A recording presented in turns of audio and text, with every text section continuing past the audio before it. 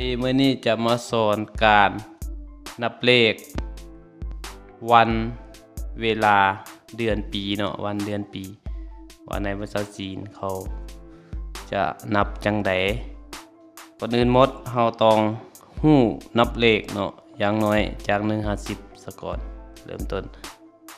เบิ่งนำกันเนาะ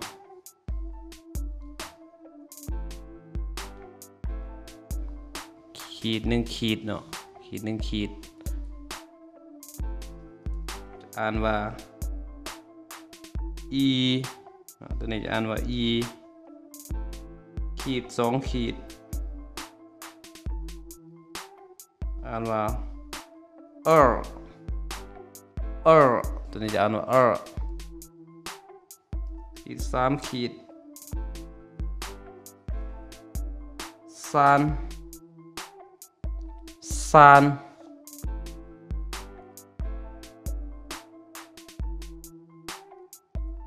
四四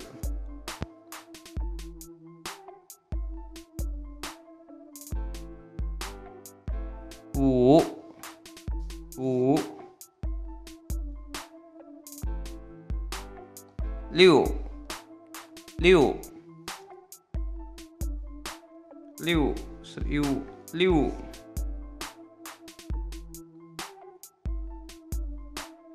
七七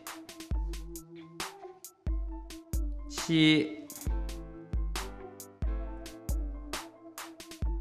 八八九九。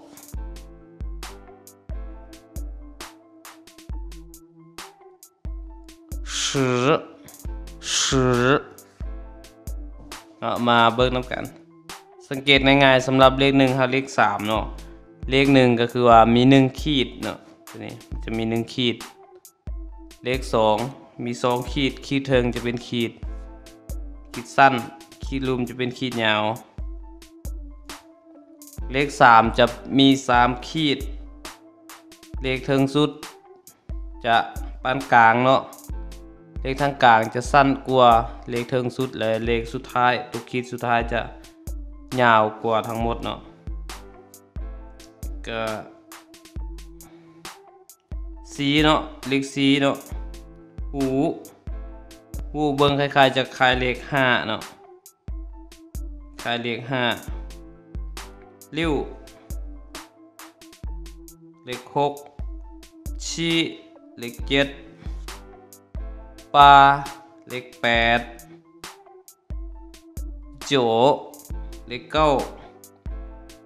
สิเลขสิบในนี้เนาะคันจะนับเป็นภาษาจีนเนาะเขาจะมีการเขาห้องจะได้แบบใส่ภาษามือ นับเลขใส่ภาษามือ ใส่ภาษามือคือหนึ่งก็ e e เขาจะจะมือเดียวเนาะสองก็ r ใส่สองมือเนาะ สามสามสามสามนิ้วเนาะสี่ก็สี่เนาะสี่คันห้าหูห้านิ้ววันนี้ถ้าเป็นเลขหกเนาะพอมันมีแต่ห้านิ้ว ถ้าเป็นเลขหกเขาจะนับจังสี่ริ้วริ้วมันเลขหกเนาะเลขเจ็ดจะเป็นจังสี่ชี้ชี้เลขแปดเนาะเลขแปดจะคูหางตัวนี้ ปลาปลาเลขเก้าโจเห็นบ่จะเห็นงงงโจเลขเก้าเลขสิบไปนี่สิเออเอามือมาค่อยกันเนาะสิเลขสิบหรือใส่กำปั้นอันนี้แปลว่าเลขสิบเนาะในภาษาจีนตัวนี้จะเป็นภาษามือเนาะเพราะในอดีตเนาะเขาเจ้าค้าขายต่างๆ เขาเจ้าจะใส่ภาษามือเพื่อบ่ให้ คนข้างๆได้ยินเขาว่าเออเลขหยังเลขหยังนะเขาจะใส่ภาษามือเป็นหลักแต่บอันนี้เป็นวัฒนธรรมจีนเนาะที่เขาเจ้าสอนมาอันนี้เฮาฮู้นับเลขหนึ่งหาเลขสิบเลยเนาะหนึ่งก็一二三四五六七八九十 หนึ่งสองสาม สี่ห้าหกเจ็ดแปดเก้าสิบตัวนี้จะเป็นพื้นฐานสุดๆเนาะเอาสมมุติเฮาสิว่าว่าสิบเอ็ดเฮาว่าจังไดเนาะสมมุติว่าสิบเอ็ดสิบอยู่นี่เนาะหนึ่งอยู่นี่เนาะเราต้องเอาสิบขึ้นต้น เอาสิบขึ้นต้นเนาะสิบอีสิบขึ้นต้นสิบอีอันนี้จะแปลว่าสิบเอ็ด สิบเอ็ดเนาะคันสิบสองก็คือกันสิบ二十三十四十五十六十七十八十九เนาะสิบเจ็ดมันสิบเก้าเนาะ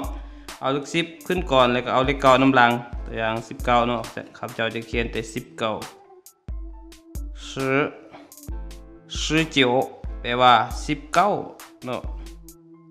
แปลว่าสิบเก้าและถ้าจะว่าว่าสาวเขาจะว่าจังไดต้องเอาเลขสองขึ้นก่อนเนาะกฎของภาษาจีนเนาะเอาเลขสองแล้วเอาจริงใส่เลขสิบเนาะต้องใส่二十二十แปลว่าสาวเนาะคันสาวเอ็ดกะต้องมัน二十一เนาะคันจีว่าง่ายๆซะสาวเอ็ดสมมุติเนาะสองบวกสิบบวกหนึ่งเนาะรูปแบบการอ่านของเขารูปแบบตัวนี้ เพราะฉะนั้นต้องเอาสองขึ้นขึ้นก่อนนี่二เนาะ二แล้วก็จึงเอาสิบสิ จึงเอาเลขหนึ่งอีมันก็เท่าเสาเอ็ดเนาะอาชิอีแปลว่าเสาเอ็ดตัวนี้จะเป็นรูปแบบการอ่านของจีนเนาะจะคือการเบิดจนฮอดพุ่แหละจนฮอดร้อยฮอดร้อยพอนเนาะฮอดร้อยจะต่างแต่เก้าสิบเก้านี่คือการหมด ก็คือคันสี่สิบเนาะสี่สิบก็แมนสี่สิบสี่สิบเอาเลขสี่ขึ้นก่อนตัวอย่างสี่สิบเนาะ 四十เนาะสี่สิบคันห้าสิบก็五十ห้าสิบหกสิบก็六十หกสิบเจ็ดสิบ七七十แปดสิบ八十 เก้าสิบกับเจ็ดสิเก้าสิบเนาะไปนี่เก้าสิบเก้าไปนี่อธิบายเก้าสิบเก้าต้องเอาเก้าสิบเก้าก็คือรูปแบบตัวนี้แหละ คือข้าพเจ้าเขียนอยู่นี้เนาะรูปแบบเดียวนี่เนาะเก้าบวกสิบบวกเก้ารูปแบบของตัวนี้ก็คือเจ็ดเนาะภาษาจีนก็สิสิก็เลขสิบเนาะ แล้วก็จิ๋วจะอ่านว่าเก้าสิบเก้าเนาะจิ๋วสิจิ๋วแปลว่าเก้าสิบเก้าเนาะเก้าสิบเก้าและถ้าเป็นเลขร้อยจะเป็นอีกคำศัพท์หนึ่งเนาะอีป่ายอีแปลว่าหนึ่งป่าย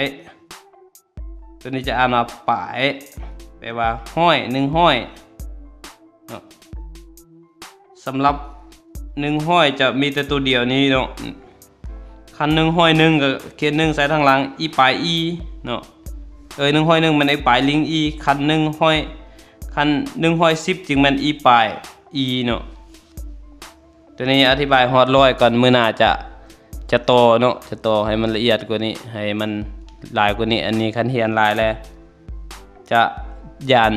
นักเรียนสิจื้อบ่ได้เนาะมันลายโพด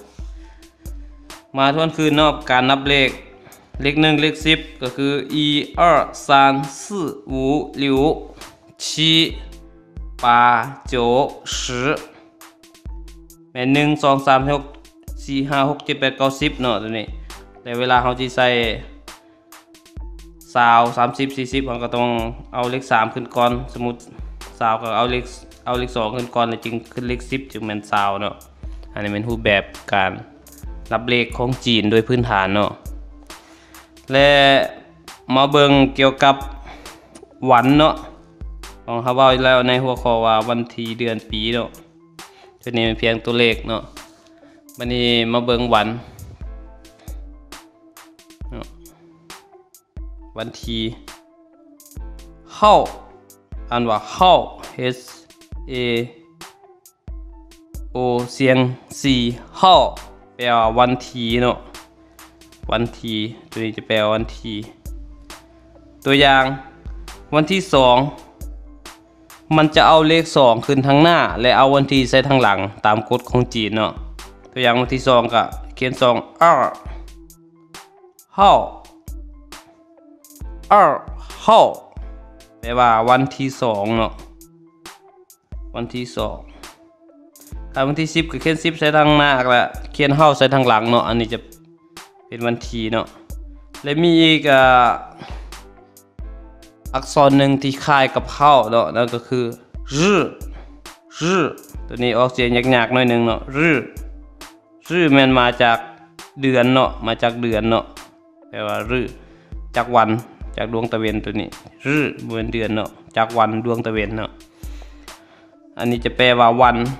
ซึ่งการนำไส้คล้ายๆเข้าเนาะเข้า เท่ากับรื้อแต่ว่าเนาะสำหรับการเว้าส่วนหลายแมนเขาจะเว้าเฮานี่ตัวนี้หลายกว่าเพราะว่ามันออกเสียงง่ายแน่โดยภาษาเว้าแมันเขาจะใส่เฮาหลายกว่าเนาะแต่คันภาษาเขียนเขาจะใส่รื้อรื้อนี่หลายกว่าเฮาคันภาษาเขียนเขาจะใส่รื้อนี่เนาะตัวอย่างสิบ วันที่สิบวันที่สิบห้าก็ต้องใส่สิบห้าแล้วก็จริงแมนรื้อทางหลังเนาะก็คือสูห่อเนาะสูรื้ออันเดียวกันเนาะประมาณวันนี้วันเฮาเฮาแนะนำอะได้ยังไม่เดือนบัดนี้เนาะเดือนเดือนย่อมามาจากใส่เนาะวันนี้จะอ่านว่าเย่เย่เนาะเย่ ตัวนี้อะเย่จะออกเสียงเย่เย่เนาะเย่แปลว่า เดือนหรือดวงเดือนตัวนี้เนาะจะแปลว่าเดือน เดือนเนาะแล้วการนับเดือนก็คือกันเนาะซึ่งเริ่มจากเลขหนึ่งเนาะ e r 三四五六七八九十十一十二哦，十一十二 เพราะว่าในเดือนนี้มันมี 12 เดือนเนาะ ก็คือเดือนหนึ่งเดือนสองเดือนสามเดือนสี่เดือนห้าเดือนหกเดือนเจ็ดเดือนแปดเดือนเก้าเดือนสิบเดือนสิบเอ็ดเดือนสิบสองเนาะแล้วเฮาเจ็ดอะไรเฮาสิใส่จังไดเนาะเบิ่งครับจะจะอธิบายเย่เมื่อกี้เว้าแหล้วเย่เป็นเดือนเนาะแล้วถ้าว่าเดือนหนึงบัดนี้เฮาเจ็ดอะไรเนาะง่ายๆเพียงแต่เอาเย่นี่ใส่ทางหลังหนึงนี้นี่อีเย่แปลแมนแปลว่าเดือนหนึงเนาะแล้วเอาเย่มาใส่สองนี่ 二月แปลว่าเดือนสองใส่สามสามเย่แปลว่าเดือนสามใส่แบบเดียวกันเบิดนี่จนฮอดเดือนสิบสองนี่เนาะ十二月แปลว่าเดือนสิบสองง่ายๆ การจื่อง่ายๆ เพียงแต่ว่าจื่อเลขหนึ่งฮอดเลขสิบสองแล้วก็จื่อเย่นี่แปลว่าเดือน แล้วประกอบเป็นเดือนหนึ่งเดือนสองเอาบันนี้บางทีมีนักเขียนบางคนบ่เข้าใจว่าคนนี้ว่า ถ้ามันเป็น 12 เดือนเด้บ่แม่นเดือน 12เนาะถ้าเป็น 12 เดือน หรือถ้าเป็น 12 เดือนเนาะ12 เดือนภาษาจีนว่าจังไดมันจะต่างกับเดือน 12 ให้เข้าใจเด้อมันต่างกับเดือน 12 12 เดือนภาษาจีนว่า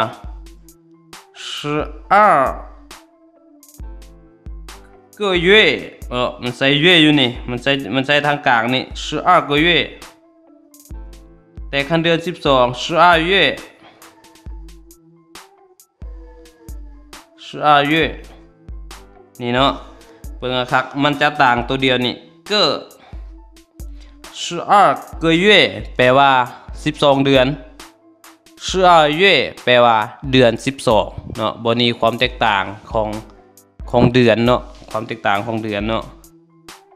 บัดนี้เฮาแนะนำเดือนแล้วเนาะบัดนี้แนะนำปีบัดนี้เนาะวันที่กับเดือนเฮาแนะนำแล้ววันนี้ปีภาจีนไว่าจังไดเนาะ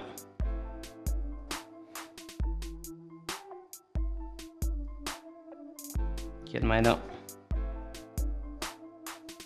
อ่านว่าเนียนอ่านว่าเนียนตัวนี้ผิด เนียนแปลว่าปีเนาะปีถ้า ถ้าปี 2019เราจะว่าจังไดเนาะ2019 เนาะตัวอย่าง 2019 ปี 2019ภาษาจีนว่าจังไดเนาะภาษาจีนว่าไงสองเป็น r เนาะเขาว่าแล้วเมื่อกี้ r เนาะสองเป็น r คิดจังซี่ซะมันสีลงกันกับหมายเท่าเนาะอ้อศูนย์จังไดลิงเขาจะใช้เลขศูนย์เลยลิงออลิงอีโจเนียนก็คือปีเนาะเนียนอ้อลิงอีโจเนียนแปลว่าปี 2019อ้อลิงอีโจเนียน วันนี้จะอธิบายเพิ่มลิงเนาะลิงลิงก็คือเลขศูนย์นี่ภาษาจีนมันจะเขียนในนี้เนาะลิงเนาะอ่านว่าลิงลิงแปลว่าเลขศูนย์ตัว L เนาะตัว I แล้วก็เสียงสองเนาะตัว N ตัว G ซึ่งคันภาษาภาคเหนือเขาจะ เขาจะเขียนมาเลียเลียมี R อยู่นี่เนาะเลียเลีย อันนี้เป็นเสียงของทางเหนือเนาะแต่เสียงของทางใต้ส่วนหลายเขาจะอ่านลิง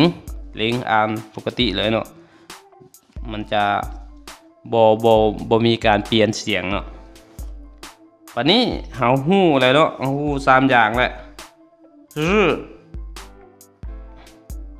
หรือเฮาแล้วก็เย่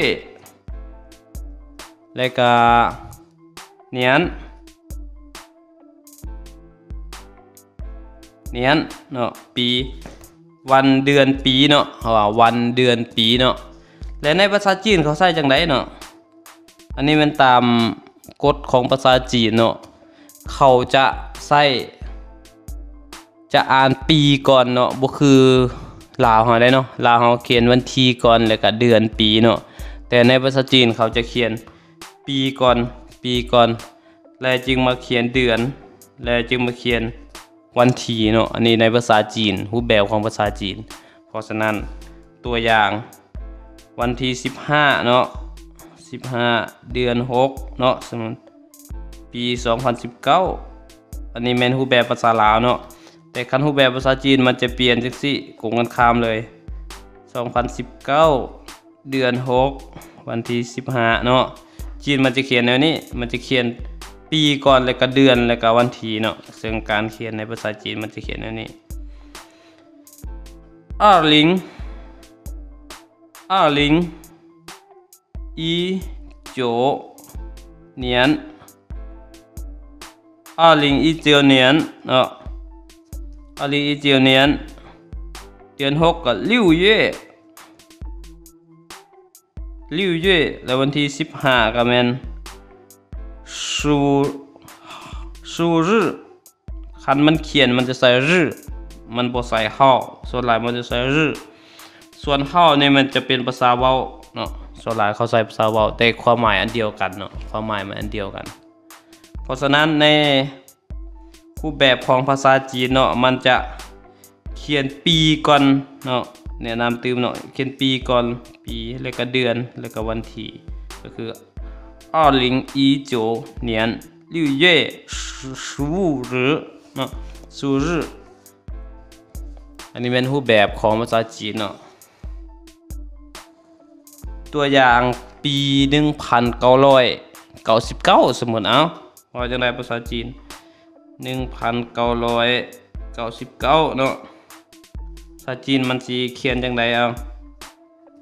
ก็เขียนตามตัวแล้วแหละอีจโจสามเก้าสามตัวกับโจ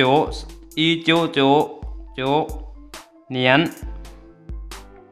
เนียนก็คือปีเนาะอีโจโจเนียนก็คือว่าความหมายก็คือปี 1999 เนาะอันนี้เป็นรูปแบบของภาษาจีนเขาเจ้าจะเขียนจังซี่เนาะ อธิบายให้เข้าใจเนาะมาฮอนี่การแนะนำวัน วันวันทีเดือนปีก็สิ้นสุดเนาะสิ้นสุดลง และคำศัพท์ที่เรียนมือนี้เนาะอยากให้ทวนคืนก็คือ ผู้ใดที่ตั้งใจเบิ่งเนาะอยากให้ทวนคืนอีกเทือนึงก็คือ เกี่ยวกับตัวเลขเลข1 50เนาะเลขกระเดือนเนาะชื่อให้ชื่อตัวเลขหนึ่งห้าสิบแล้วก็เขียนวันนี้เนาะรื้อนี้ รื้อกับเฮาเนี่ยเดียวกันเนาะแล้วกับเดือน แล้วก็ปีเนาะชื่อคำศัพท์พวกนี้นี่เนาะชื่อคำศัพท์พวกนี้ไว้แล้วก็ชื่อรูปแบบชื่อรูปแบบการเขียนหลักการการเขียนวันเดือนปีของภาษาจีนเนาะและคำศัพท์หน้าเราจะมีตัวอย่างเราจะมาทวนคืนคำศัพท์เก่าเนี่ยเราจะมีการนับเลขต่อไปเนาะมาหอนี้ก็สิ้นสุดลงเนาะขอขอบใจที่ติดตามเนาะ อย่าลืมกดติดตามในเด้อขอขอบใจ